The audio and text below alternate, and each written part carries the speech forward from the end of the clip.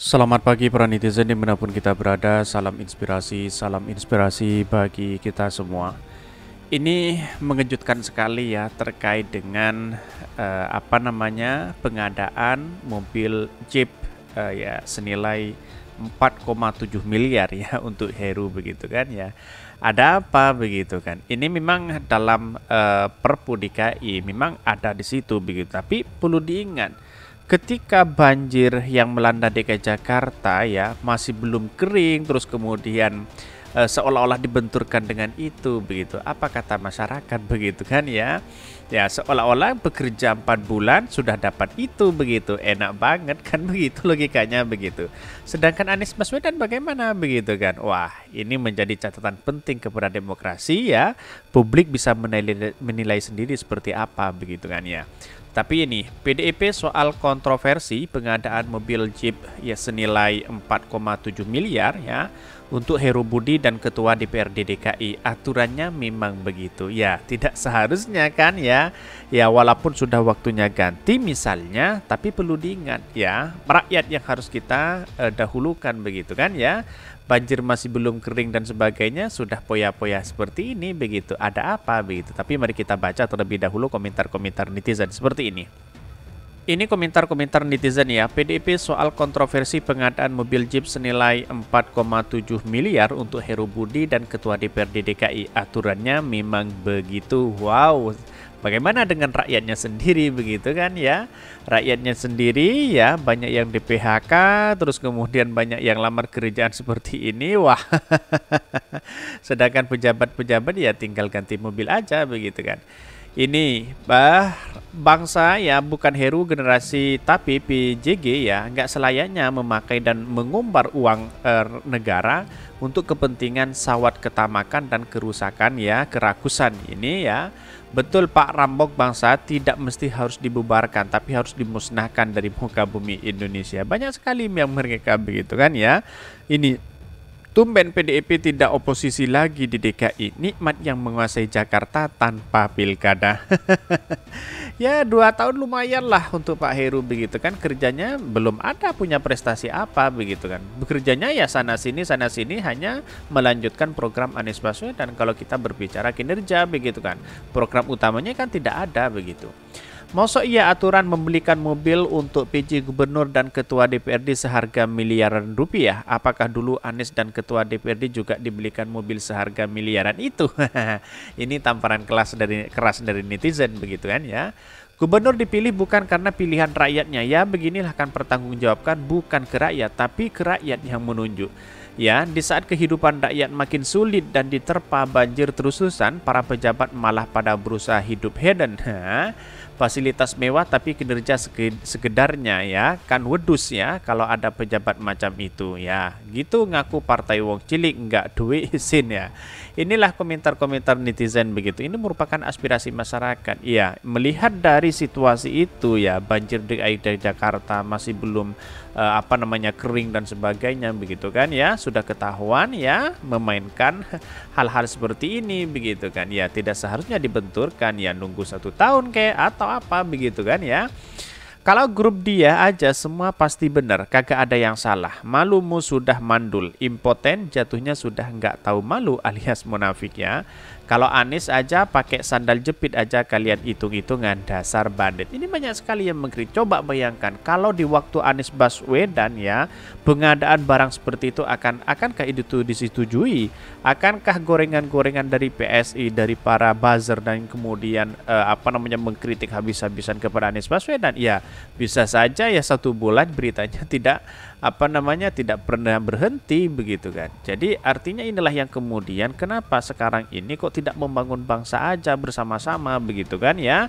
Kok hanya membangun anggaran sana sini buat uh, apa namanya pengadaan mobil dan sebagainya begitu. Itu ya catatan demokrasi kita yang seharusnya pro terhadap rakyat begitu kan. Sedangkan rakyat makan susah, semuanya naik begitu kan ya. Lah katanya uh, partai wong cilik begitu kan ya. Kalau saat Anies menjabat banyak kebijakan yang dihambat ya padahal demi rakyat Jakarta. Kira-kira alasannya apa, Bos? Ini banyak sekali yang mengkritik ada pro dan ada kontra juga, tetapi mari kita baca terlebih dahulu beritanya seperti ini. Ini beritanya PDP soal kontroversi pengadaan mobil Jeep ya senilai 4,7 miliar untuk Heru Budi dan Ketua DPRD DKI. Aturannya memang begitu.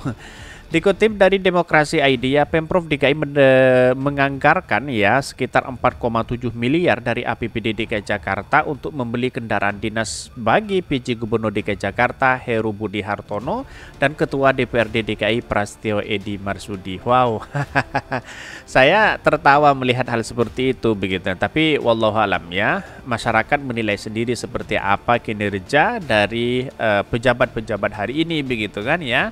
Setelah ada pajak kemarin ya uh, apa namanya uh, dari eh, orang-orang uh, pajak yang melakukan bahwa punya mobil Rubicon dan sebagainya begitu kan? Ya kemudian apakah uh, si Heru ya mau ikut-ikutan hal seperti itu juga begitu kan ya? Yang yang harganya miliaran begitu kan ya? Menurut anggota Badan Anggaran ya Anggaran ya Banggar DPRD DKI Gembong Warsono nantinya Heru akan mendapatkan dua mobil dinas Wow, mendapatkan dua mobil dinas lagi begitu. Apa? Yang pertama Jeep, yang kedua Land Cruiser atau enggak salah. Itu standarnya malah itu. Standarnya kan CC ya sekitaran 4000 ya, bukan merek untuk pejabat gubernur dan ketua DPRD itu. Sama seperti yang dulu dipakai oleh Ahok, sama ketika dulu dipakai oleh Pak Anies kan ada dua mobil dinas. Kan satu itu sedan ya, satu itu Jeep ya, kata ketua fraksi DPE, BDIP, DPRD DKI itu saat dihubungi. Bahkan ya, Gembong mengatakan bahwa Pemprov tidak membeli mobil dinas baru di era Anies Baswedan karena masa mobil tersebut belum lebih dari lima tahun. Setelah lima tahun, mobil dinas tersebut bisa diganti dan dilelang. Ya, pada hakikatnya Anies Baswedan memakai mobil yang bekas begitu kan ya. Karena memang walaupun dengan aturannya lima tahun harus dilelang, tapi kan nyatanya bahwa uh, Anies Baswedan berkiprah selama lima tahun begitu kan menjabat di DKI Jakarta. Tapi artinya prestasinya luar biasa. Mobil dinasnya tidak berubah begitu kan ya. ya, coba bayangkan kalau mobil Jeep ini berada di posisi Anies Baswedan bagaimana gonggongan dari PSI, gonggongan dari para buzzer begitu kan ya publik bisa menilai sendiri seperti apa mereka begitu kan ya. Ya, itulah junjungannya begitu kan. Tidak ada yang uh, salah bagi bagi mereka begitu kan ya. Seingat saya di kepemimpinan Anies enggak beli karena itu masih relatif baru. Zaman Ahok kan itu masalah baru, maka zaman Anies enggak beli. Sekarang kan sudah lebih dari lima tahun mobil itu, jadi itu diperbaharui. ya itulah uh, apa namanya komentar-komentar uh, publik bisa menilai sendiri seperti apa mereka begitu kan ya.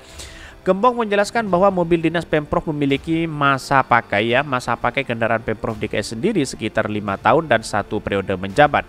Ya memang gini ketika bicara tentang mobil dinas itu kan ada masanya pakainya. Jadi mobil dinas yang lama itu kan sudah mobil ketika zaman Pak Jokowi atau Pak Ahok kalau nggak salah. Nah mungkin dianggarkan untuk memperbarui mobil dinas yang sudah lama. Oke saya paham itu begitu kan.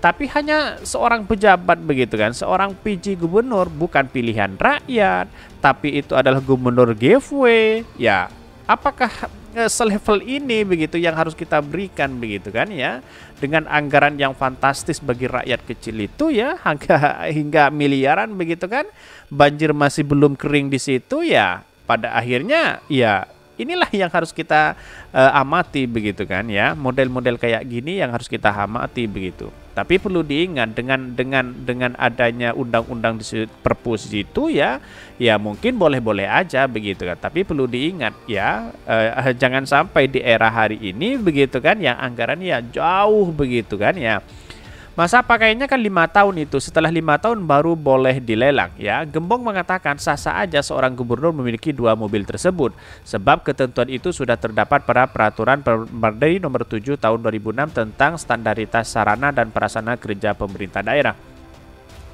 Bahkan satu mobil uh, sedan dan satu jenis Jeep ya. Nah, ukurannya apa? Ukurannya cc. Jadi untuk mobil sedan itu sekitar 3000 cc ya.